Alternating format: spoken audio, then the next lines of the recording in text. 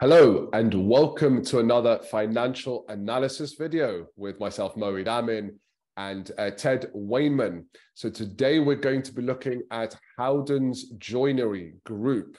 Now, the, uh, the, the purpose for the show is this is an education platform to help you improve your financial acumen. So if you want to get better at business, then you've got to understand the language of business, which is finance. And we help you by analyzing the financial statements of famous, well known businesses from all around the world. So today, like I said, we're looking at Howdens Joinery Group. Now, a bit of, bit of background about Howdens Joinery Group. They're essentially a, um, well, they're, they're kitchens, uh, they provide kind of kitchens and joinery products uh, to the trade. So, what I mean by the trade is uh, you know, construction workers. So they don't necessarily sell this directly to consumers, but they do sell this to construction workers and businesses, etc., who then fit these things in for you and I in our homes. And by joinery, we're talking about things like uh, doors, flooring, etc. Now, uh, this is a UK-based business. Uh, and uh, they're also a FTSE 250 business. So essentially, they are but uh, in terms of market capitalization, uh, uh the top, the biggest 250 companies on the FTSE exchange.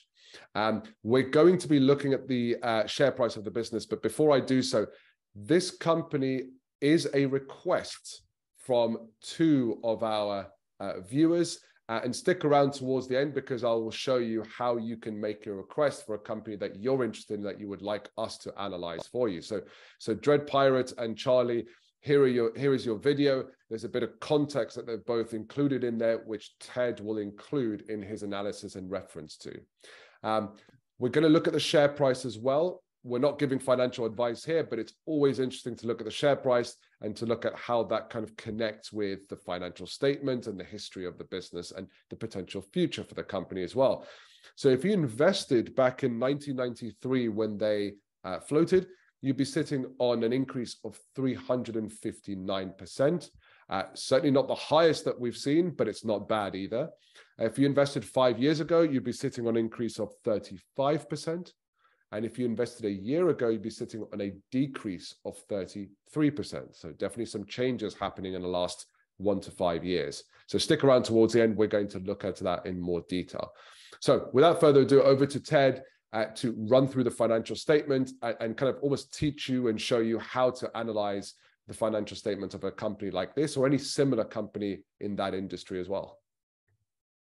Excellent. Thank you very much, Mary. Good to see you. Um, welcome back to all of our subscribers. Welcome to our viewers. If you are a new viewer, then obviously please do um, like, share, and subscribe. Um, welcome to uh, the Dread Pirate Buffett, who I assume is named uh, similarly to the Dread Pirate Roberts, that famous pirate from uh, Princess Bride, I think it was, and, and obviously that was then passed down through uh, each uh, subsequent um, pirate. Anyway, we're not going to get stuck into um, Dread Pirate Roberts and, and so on and so forth. Here are uh, Howden's um, uh, annual report and accounts. You'll notice it's for 2021, so this has be the year ended December 2021. We're recording this in November 2022, so quite out of date, and the new accounts will be out quite soon. Um, uh, and if any of our viewers can tell us, um, Moeed and I were trying to work out why why these guys have a chicken um, as their logo. So if you know the answers to why they have a chicken as their logo, please, please do tell us.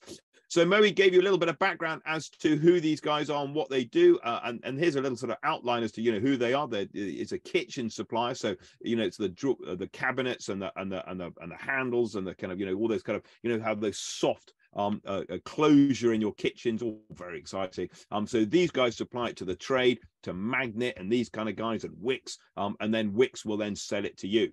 So um, lots of information about who these guys are and what they do, um, but we are going to whiz um, uh, through that, and, and we're going to get down to the kind of the key numbers. So here we go. Um, uh, here are the numbers. So we're down on page 176 of their accounts, looking at their consolidated income statement. We are in millions of pounds. So you can see here that their turnover um, uh, is just over 2,000 million. That's basically just over 2 billion pounds. That's a lot. Okay, so these guys, you know, I mean, that is a that's a phenomenal amount. So two billion pounds of turnover, uh, significantly up, 35% increase on the previous year uh, when it was 1.5 billion. Cost of sales, I think, is really interesting. Um, is actually pretty low. So these guys, you know, they're making that, you know, their their gross margin is 60%. So every time they sell a I don't know, a, a, you know, a bit of a bit of wood um, you know, joinery, when they sell a bit of wood um, to uh, Magnet, uh, it costs them, if they sell the piece of wood for, for a pound, it only costs them 40p. Now you think Magnet are then going to make a further profit by selling it to you. So actually, you know, you're paying quite a lot for your kitchen. The actual physical cost of that kitchen is really, really low. So these guys are, are very very profitable um, which i have to admit is is you know uh, you know, eye eye opening. I have to admit, I, I, had no idea. I thought they'd be at a slightly lower margin. They've got some overheads. You'll notice that the selling and distribution, there'll be a lot of distribution costs in there. So, you know, getting it onto trucks and so shipping it around and shipping it onto onto boats and all that kind of stuff. And then the admin expenses will be things like, you know, the HR team and the finance team and facilities and IT and all that kind of back office stuff um, uh, that we've got. Um, but still the operating profit 400 million pounds is uh, it's a 19% um, operating margin. So for every pound they sell, they get to keep 20p. Um, there's a little bit of finance costs, but you know, really nothing to speak about, which means that we're probably not going to find any debt on their balance sheet. Um, and because they're profitable, they are paying their taxes, which is good. Uh, and therefore, they end up with a profit of about 314, uh, 315 million pounds on turnover of just over 2 billion, which is a 15% net margin. 15%. I think a lot of companies out there would be very jealous of a 15% net margin. So that is really, really high. Uh, certainly in my book, I'm surprised that they can operate at such a high margin. Uh, and maybe if you work for Magnet, you probably want to get your negotiation boots on because it looks like you're paying quite a lot uh, for what they are supplying. Um, but maybe there's nobody else out there who can supply it. In which case, if you're a budding entrepreneur uh, and you're thinking, I'll have a bit of that, then this is a good uh, a business to be in uh, and ripe for exploitation. You can go and see if you can uh, undercut and get the margins down. Okay, so there you go. There's our income statement. Let's have a look at their balance sheet. Uh, if I can find their balance sheet. Um, uh, going the wrong way. Sorry. Yeah, no, we're on different pages here. Sorry, so I've got to scroll right onto balance sheet. Here we go. Here's the balance sheet. Right. So we are looking again at the highlighted column, non-current assets. Um, so these guys have got uh, uh, about a billion of non-current assets and uh, we're going to read these two numbers together. So they've got the property, plant and equipment and the lease right of use assets, which is more property, plant and equipment. It's just stuff they don't own. They've got it on a lease. So, you know, think about that photocopier in the corner. You know, maybe your company owns it. Maybe they got it on a hire purchase, for example. So we're going to read those two numbers together. And that's basically it. So, and that's not big for a company with a 2 billion um uh, uh, uh, a 2 billion um uh, turnover. So you know if you think about it you know they may own their warehouses but probably they're going to lease uh, or rent a lot of their warehouses. They may own their forklift trucks but maybe they lease them as uh, as well. So you know they don't need a lot of stuff. Um they do have quite a lot of inventory. Um, as you'd expect, they have people who owe them money um, because they sold them, and they've also got about half a billion of cash sitting in the bank. And so they've got another uh, billion of um, current assets, things which are cash or going to become cash soon. And if you add those two together, you end up with 2 billion in total assets. So there's the assets of the business. Current liabilities, things they have to pay soon, is basically their suppliers. Um, so the suppliers that they bought, and you'll notice that if you compare the current assets to the current liabilities, liquidity just doesn't look a problem. In fact, they could got enough cash to pay their suppliers immediately. So these guys, liquidity really not an issue. Very, very comfortable doing business with them their liabilities are really around the leases. Okay, so you can see that these two numbers, these are the lease liabilities, and that will drive the interest that we were seeing um, in the income statement. Um, there's no debt sitting here, um, so there's no kind of you know interest on debt. It's interest on lease liabilities, and that's absolutely fine. Um, so really, you know, these guys, you know, I mean, the balance sheet is looking pretty strong. Total liabilities are a billion on total assets of um, uh, 2 billion, leaving them with a billion in net assets. So just under a billion in net assets. Um, and that billion in net assets is a little bit of investment, but mainly driven through uh, retained earnings, so that profit being reinvested back into the business um, uh, in order to um, fund uh, future growth in the business. So, you know, I'm looking at this balance sheet and I'm thinking it, it couldn't really be a stronger balance sheet. You know, this is a this is a really solid company, you know, very, very strong, you know, almost bulletproof um, balance sheet as far as I can see. This ESOP, I just mentioned that, that's the um, uh, employee share options. I don't know what the P stands for, you know, profit share or something like that. Reserve is basically saying that the employees are also getting a benefit um, from share price. And so, you know, there's a big incentivization probably going on. If you work at Howdens, you know, you'll be part of that share option scheme, the opportunity to buy shares in your business.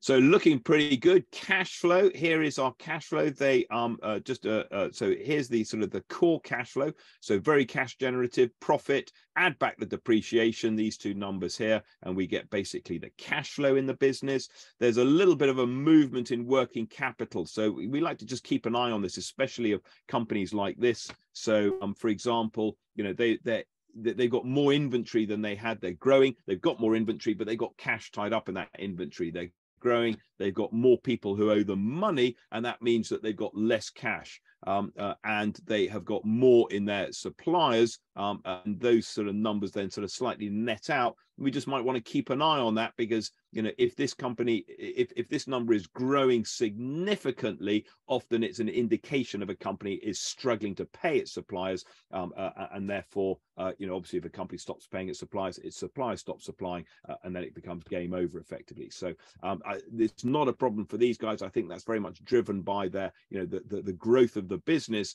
um, and, and as we said they've got enough cash to pay their suppliers like that. So really you know liquidity is not an issue for these guys but um, if you are looking at other companies. Just keep an eye on that. So in terms of the kind of the core cash flow, cash flow from operations, generating cash, very, very good. Little bit of investment going on. That's fine. Not a not not a huge amount. They don't really need to do a lot of investment because they're not a capital intensive business.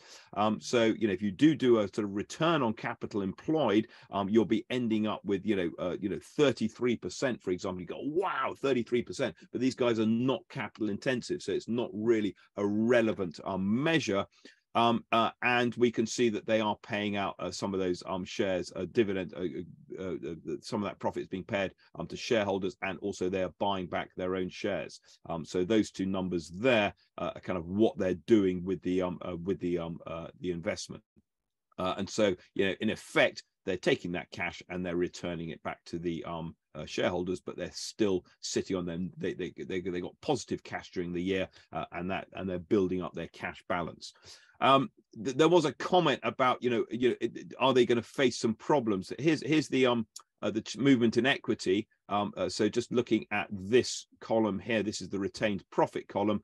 Um, we can see there's the retained earnings at the beginning of the year. Um, we've got the profit for the period. That's the profit. That's the unearned profit. Um, uh, don't worry too much about that, but we can see very clearly share buybacks, and there's the um, uh, the dividends which we saw in the cash flow, um, uh, and that's you know, two ways of, of returning money to the shareholders.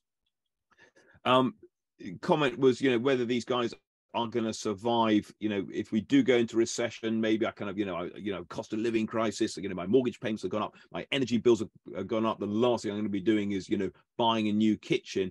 Um you know so these guys may see a downturn um but i think they are you know they are very you know they're a very strong business um, and i think that they are you know they look pretty bulletproof to be able to weather any storm. I would be very surprised. I mean it would have to be a massively deep dark recession to knock these guys off their perch. So they may see you know the cash flow come down. They may see the profits come down. They may even make a loss um, but i think these guys are here for the long term. Uh, it looks a, a pretty strong um, a set of uh, uh a, a pretty strong business to me um, what we might like to look at uh, when we're looking at the balance sheet, just go back to our balance sheet here, is um, so when we look at the um, the the uh, uh, the the, uh, the uh, working capital, we're kind of looking at, um, you know, comparing these, uh, uh, you know, and how long does it take them to to move their inventory? It takes them 126 days to shift inventory, which you know is quite a long time, but you know that's probably because that you know there's a lot of shipping involved in that.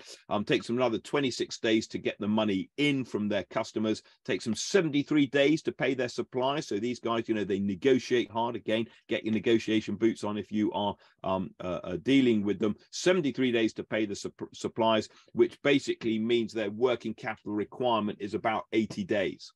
Okay, so these guys from cash in to cash out uh, need 80 days um, but they've got easily enough working capital. So they are well capitalized in terms of their working capital to be able to kind of, you know, to survive that, that 80 days. And it's down from about 87 days in the previous year. So, um, you know, these guys are, you know, they're ticking a lot of boxes. Uh, I haven't really found anything that is uh, looks um, weak um, on their balance sheet uh, or in their uh, financial statements. Let's go back and look at their share price. Um, so here is their share price, and um, uh, you'll notice the um the the PE ratio, the price to earnings ratio, uh, up in the top right hand corner, um, is about eleven times earnings. Okay, so that's you know you know that, that's cheap.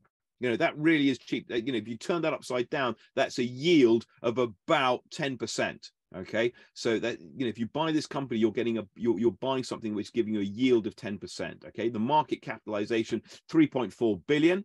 Um, the the balance sheet is only about a billion so there is goodwill in there but um you know you're really if you're buying this company you're buying the um you're buying the future income this dividend yield here i this, this looks a really low number. I'm not I'm, I'm not sure where that number comes from. They paid out 134 million in dividends last year. And if you include the share buybacks which was another i think it was 50 million from memory that's a total of 184 million. 184 million on 3.4 billion is a 5% yield. Now 5% yield is pretty low um, in terms of dividend, but a lot of that is being reinvested back into the business and they are growing. Just to remind you, their top line grew by 35%, which is a massive growth.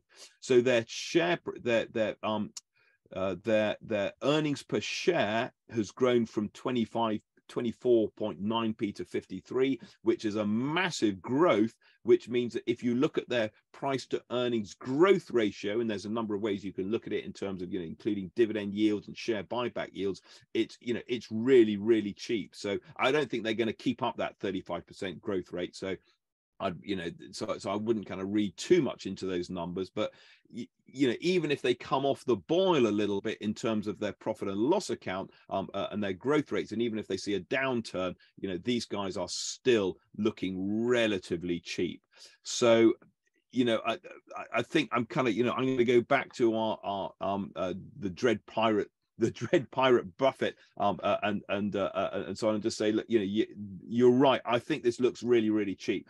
Um, yes, I think it is going to hit headwinds, um, but you know these guys these guys are are going to be they're around for the long term. So I'm pretty happy with them. Um, just a final uh, thought, Moeed. Um, uh, just ha- if we have a look at page uh, 65 um, uh, of these accounts, uh, we can see um, our CEO and see how much the CEO is being paid.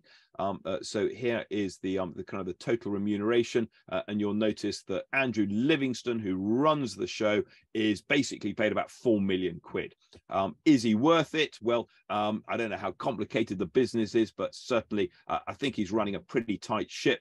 Um, I think that Paul Hayes, who's the CFO, the Chief Financial Officer, uh, probably needs a bit of a pay rise because he's, you know, I mean, they really are, you know, this is this is a good set of accounts.